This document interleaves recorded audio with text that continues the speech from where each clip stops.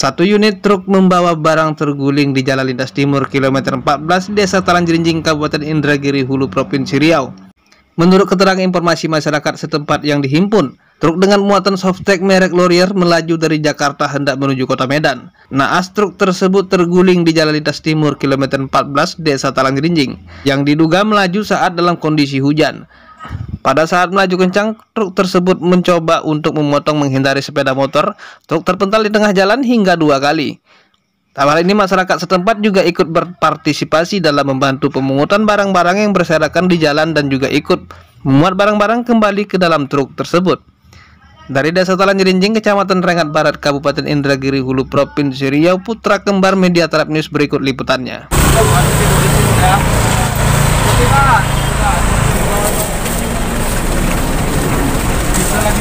Om, yuk, kembali galau.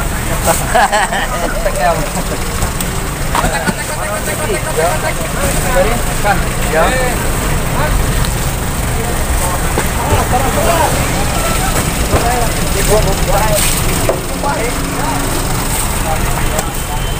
Kuatin.